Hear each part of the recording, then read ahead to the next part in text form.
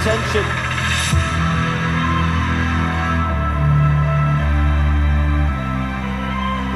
Two hundred meters to go.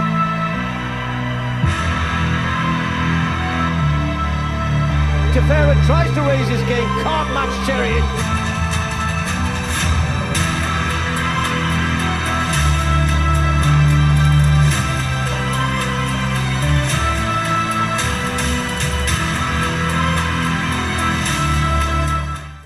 Real shock.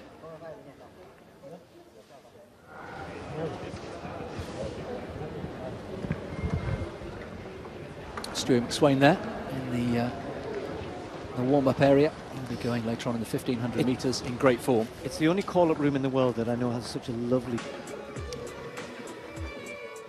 Here we are then, the men's 1500 metres on the far side of the track, and uh, a chance to see for the first time in 2021 Timothy Cheruiyot, the world champion. Really looking forward to seeing him go here. Very good field. Many of them have run fast here in Doha in the past. Not to mention, of course, the World Championships themselves. And pace being set by Eric Sowinski and sign of uh, Kenya. A very quick pace. Your Cheruiyot has not been beaten at 1500 metres since we were here for the Diamond League in, in the beginning of World Championship year. So May 3rd, 2019. He went through the rest of the season unbeaten and he ran 329 in that World Championship final. There's Stuart McSweyn, who's uh, had such a big year, new Australian record in 2020, looks in good form in 21 as well. And then this man, rather surprisingly, uh, representing his home country here of Qatar, leads the world rankings at the minute. Adam Ali Musab, who we saw run in the cold and the wet of Gateshead. I'm sure he'll enjoy these conditions much more. El Bakkali couldn't get out of Morocco. He was meant to run the steeplechase in Gateshead. He's here in Doha, the steeplechaser, and then the very experienced Australian Ryan Gregson on the inside. Amongst others here to watch out for his teammate Matt Ramsden in this as well, Vincent Kibet, Ronald Musagala, and uh, Bethwell Birgen, and Samuel Tefera. And some of the names I've just been mentioning. There's Musagala.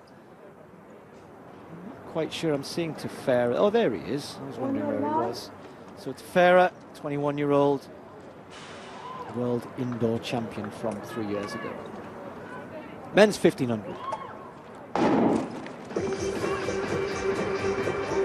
Well, let's hope the pacing, they've got a couple of very experienced pacers here. Eric Sowinski is normally pretty good at hitting the mark, so asked for around about 151, and uh, we'll get an idea, won't we? We've seen Faith Kip- Kipyegon in that 800 metres show that she's in uh, fantastic form.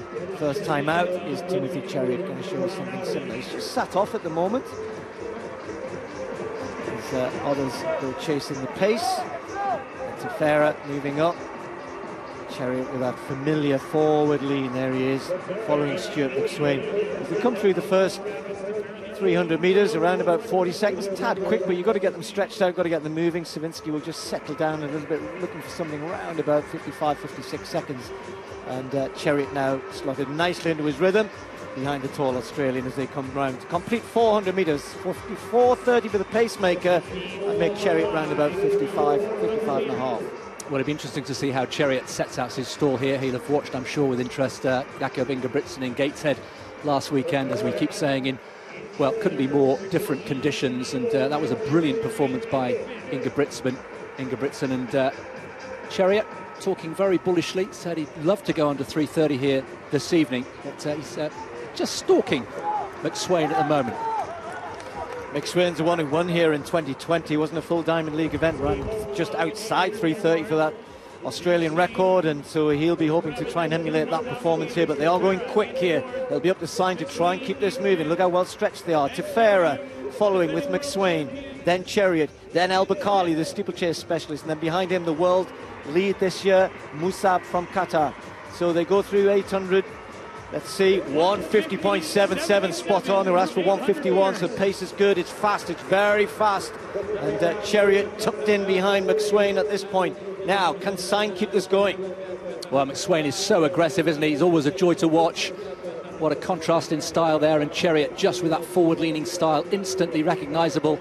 And El Bakkali just uh, lurking. We don't really know much about El Bakkali's form at the moment. As you say, couldn't get to Gateshead last weekend. So it's Tefera who now leads this because the pacemaker has had enough. He can't keep this hot, hot pace going. And Cheruiyot looks comfortable. McSweyn working hard. El Bakkali hanging on. And these are well ahead of the world lead. Musab of Qatar has a big gap now. And Birgen starting to move up. But 234 at the bell. The 330 well on the cards here. Four men in contention. Now it's about winning it. Look at El Bakkali looking feisty and looking dangerous. McSweyn on the inside as Cheruiyot moves up on Tefera. Tefera trying to hold him off. 248 through 1200 metres. And a fast time is on if Cheruiyot can finish this off.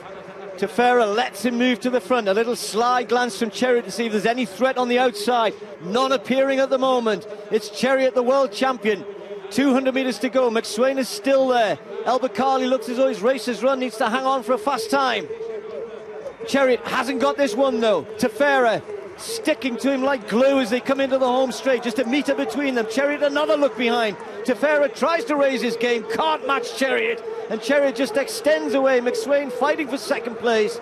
But it's Timothy Cheruiyot. Will it be under 330? It's going to be close, just outside. McSweyn gets second. Mel Bakkali third. Tefera fourth. Birgen comes in for fifth. And then the others running in through and around 34, 35. Well, Tim Cheruiyot.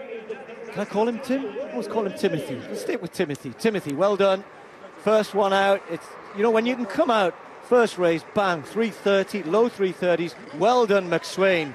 I mean, for McSweyn, I'd have to check, but I suspect that's his second fastest ever.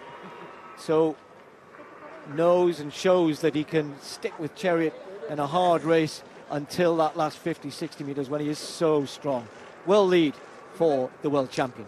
Well, it's quietly impressive, isn't it, Cheruiyot?